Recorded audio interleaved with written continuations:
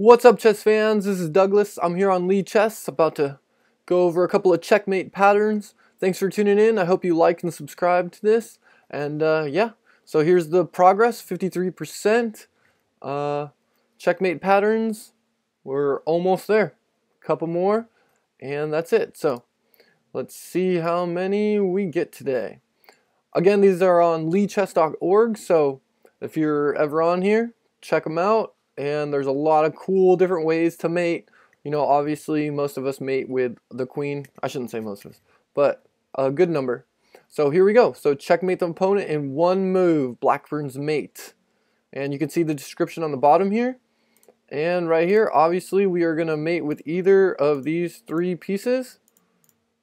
Don't want to mess up their things. So the checkmate is pretty simple for these uh, a couple. Um, pause the video, Eh, here it is. Mate, it's protected by the knight. Alright, next one. Checkmate in one again. And we've got two pieces, and this is four, four, whoops, four pieces are situated on the flight squares for the king. So one, two, three, four. These four pin the king and it's either mate here, here. Those are the only two options. And that would be his escape route if you went to G3. So, boom, checkmate. Two for two. Let's see how many we should do. Five, seven, eight. Next one. Right, Legal's mate, the knight moves into position to check the king. So we're looking at one of these knights to check the king. Here are a couple ideas. Two. Those, so only these two mm, are going to check the king. Oh, no, all three of them, rather. All three of these are going to check the king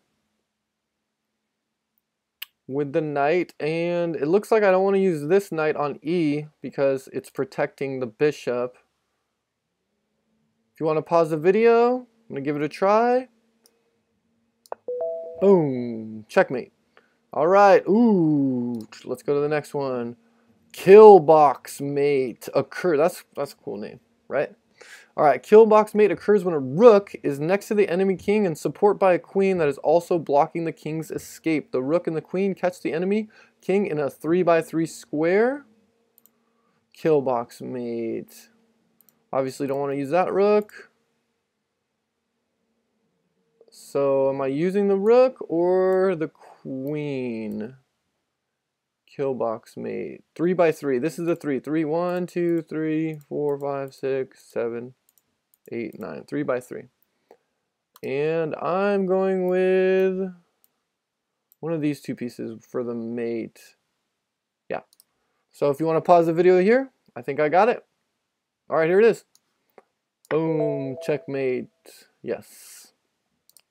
All right, triangle mate. Sounds similar to the kill box mate if it's like kind of a triangle. Triangle is delivered by a queen attacking an enemy king while supported by a rook queen. Queen is attacking, so that's delivering the mate here. That would make kind of a triangle here, right? Boom. Well, kind of a triangle. And the queen is also blocking that off, still kind of a square, and the pawn is preventing the escape. So the checkmate is with the queen. If you want to pause the video, I don't think it's here. Here we go. All right, four for four. Volcanic make volcanic. I butchered that. I apologize to that. Apologize to that, sir. Apologize to you, sir. Three of these ones. Let's see. we get all three of these.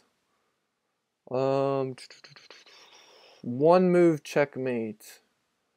One, two, three. You're going to need to use all three of these pieces, supported by a third, the knights and the rook, but it's also supported by a third piece. All right, this rook is blocking this file or diagonal? Obviously not. Um, this uh, bishop is blocking or helping out with these three.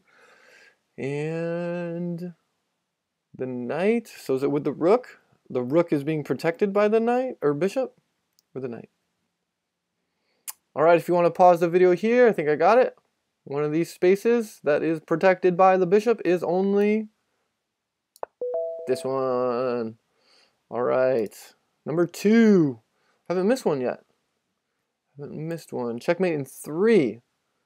All right, obviously no pawn. Checkmate.